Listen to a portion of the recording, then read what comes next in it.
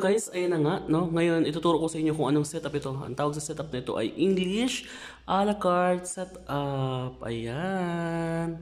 So, ayan na nga. So, ano ba yung mga kailangan natin kapag tayo mag-setup ng English a la carte? Kailangan natin ng centerpiece, water goblet, table napkin, dinner knife, dinner fork, bread plate, tapos bread and butter spreader. Yan lamang po ang ating mga Ayan, so panoorin ninyo at kung hindi ko pa kayo kadikit, no? Ayan, please subscribe on my YouTube channel. Don't forget to like, comment, and share para updated kayo sa mga upcoming video.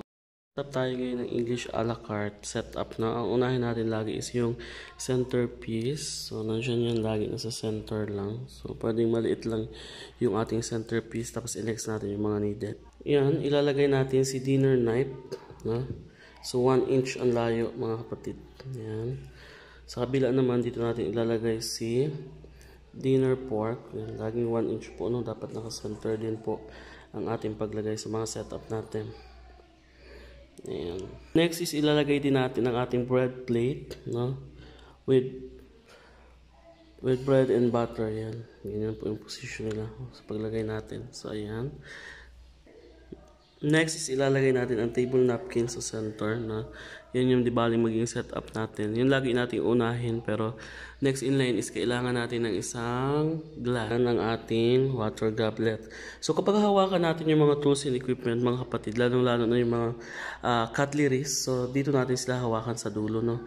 Wag, never pong itatouch ito, ito. So para hindi po mag, ano yung mga water, magdapat dito lang po ang paghawak natin. Tapos ilalagay natin sa proper position, 1 inch. Tapos kapag mga plates naman, so kailangan ito po, hindi po nakadikit yung ano ito, hindi nakadikit dapat. Ito lang yung ididikit natin para hindi din po mag ano yung mga kamay natin. Yun yung mga tips na dapat niyo tandaan kapag kayo ay nagsiset up. Kapag mga glasses naman po ang hahawakan natin, always remember na sa steam natin siya sawakan. Ito po. Ito, wag po dito, no, para maiwasan po natin yung mga fingerprint, no? Yan po yung mga dapat niyong tandaan. So, ayan. Maraming maraming salamat sa panonood ninyo. So, this is this our setup, no?